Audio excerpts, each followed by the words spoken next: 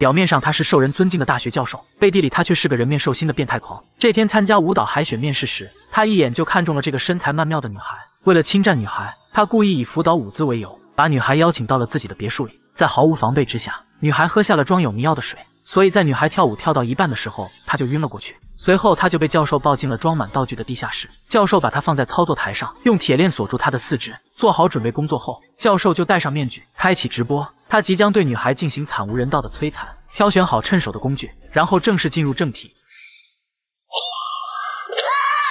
随着鞭子落在身上，女孩也被惊醒过来。她发出的惨叫声在整个房间回荡，直到女孩被打得血肉模糊，她才停下手来换了另一件工具。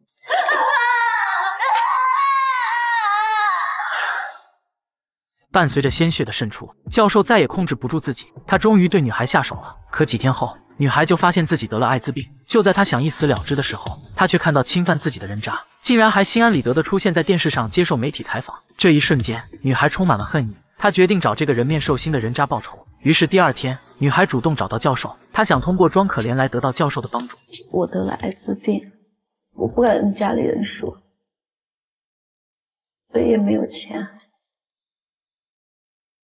我真的不知道该怎么办了，您不能丢下我不管。然而教授听完却满脸得意，他认为眼前的女孩已经彻底被他征服，于是随即就站起来打开了之前录下的视频，然后恬不知耻的说道：“这才是真正的艺术，美呢有很多种，只有这种残缺的美，才能让人欲罢不能。”但是教授却不知道，在他站起来的时候，女孩已经用手机把刚才发生的事情全都录了下来。你知道什么是？这才是真正的艺术。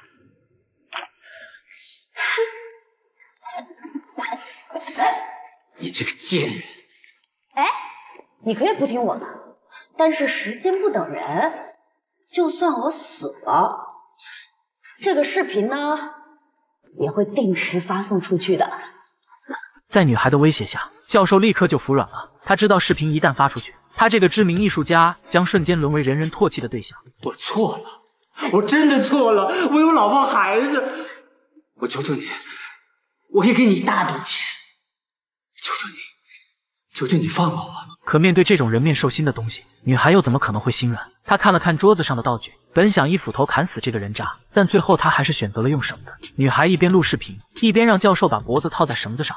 你只要说对不起，我满意了就会放你下来。对不起，程阳，真的对不起。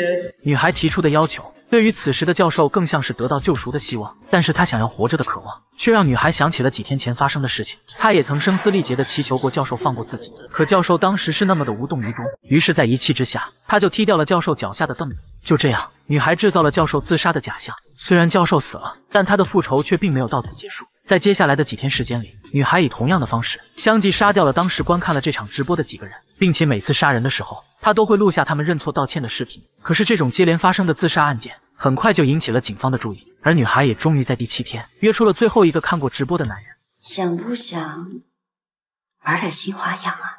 只要你能满足，我都可以。跟我说对不起。在女孩的诱惑下，男人主动将自己的脑袋挂在了绳子上。等到女孩录完男人道歉的视频后，他就一脚踢掉了男人脚下的凳子。当男人意识到不对劲，早已为时已晚。不过就在男人做最后挣扎的时候，警方终于赶到了这里。男人最后还是被救了下来，而女孩最终也终于被抓了起来。面对刑警的审讯，女孩坦然地交代了所有的事情。虽然她现在是背负了多条人命的恶魔，但是几个月前她也只不过是个想过平凡生活的应届生而已。我现在才大三。我没有什么远大的理想，只要能让我继续跳舞就好。至于未来是什么样子的，有谁说得清楚呢？